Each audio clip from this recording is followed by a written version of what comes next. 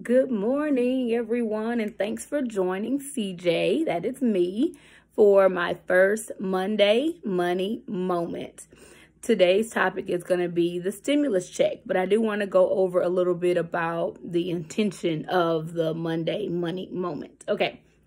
So, the intention of this series is to call individuals to be more intentional about their thoughts and the time that they spend with their money and their finances. I know a lot of people don't think about money until it's time to pay for something until they get paid, okay? But we definitely want to set aside a weekly time to take out those finances and just see, you know, where am I right now? Have I saved enough? Is this bill too high? Well, where, where can I cut expenses? Where can I increase income? Okay. Because as you know, that's my mantra. Either you cut expenses or you increase income, one of the two, but you definitely don't stay at the level that you are currently if there's a need. If you want to do something differently, you're going to have to start doing things differently, right?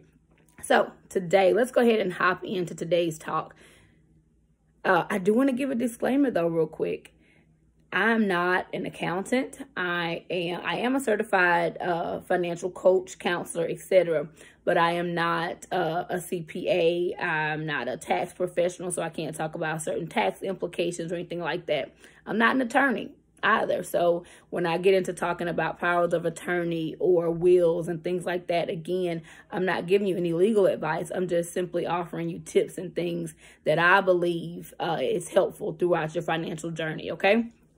So four quick things I want you to do with your stimulus check. The first thing I want you to do is cut it in half. Okay. Not physically cut it in half, but cut the amount in half. Oh, I do want to give another disclaimer, guys. Sorry, I'm a little all over the place this morning. First disclaimer, second disclaimer I want to give. The first one was I'm not an attorney, I'm not a CPA, etc. I'm not a, um, any of those things to you. The second disclaimer I want to give is for the purposes of my talk today, I'm not talking to individuals who have an immediate need. If you need food in your home, go buy that food with your check.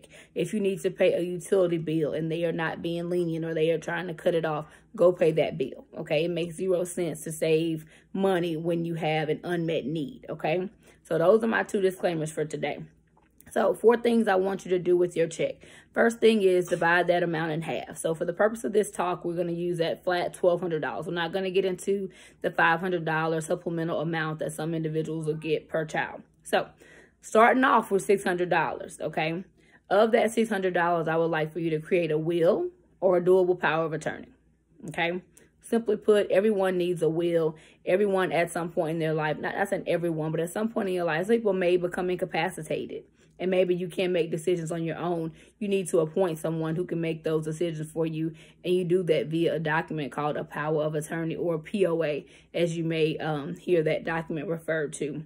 The will is basic. You may think you don't have anything, but you do whatever you are sitting on right now, your couch, your love seat, your kitchen table, that is something that you own. That is an asset that a person is going to have to decide its fate if something were to happen to you. So you definitely want to establish a will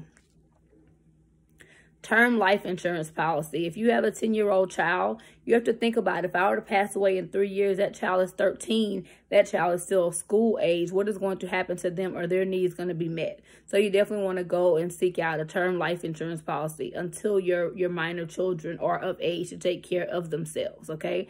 That may be 18 of you, that may be 21. However long you can get a term life insurance policy with your children or even your spouse as a named beneficiary on that policy. Okay.